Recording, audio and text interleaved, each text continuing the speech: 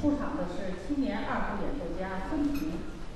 孙平自二零零一年至二零零四年，在中央音乐学院本科学习阶段师从刘长福教授。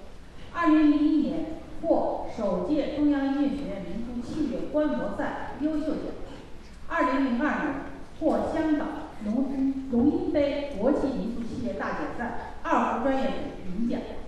二零零一年至二零零九年加入女子十二乐坊，曾经获得日本最佳海外艺人奖、金唱片奖，是一位活跃在新音乐元素舞台上的青年二胡演奏家。孙婷将为我们演奏马上又作曲的二胡独奏曲稻草河，伴奏邱书豪、尹飞、朱静思、李尔东，有请孙孙婷。